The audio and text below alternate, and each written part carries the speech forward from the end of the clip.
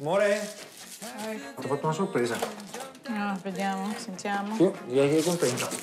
Sì. Qual è l'ultima volta che mi hai fatto una sorpresa? Amore, sono finiti i tempi belli di una volta. Però ti ho fatto una bella sorpresa. Andiamo in un posto bellissimo, eh, dove ho letto. Ah, è un viaggio? La psicologa, una delle cose che ha detto a Francesco è prendetevi un weekend, staccatevi completamente senza telefono, senza lavoro, senza computer, andate in un posto sperduto e godetevi voi. No, amore. E quando andiamo?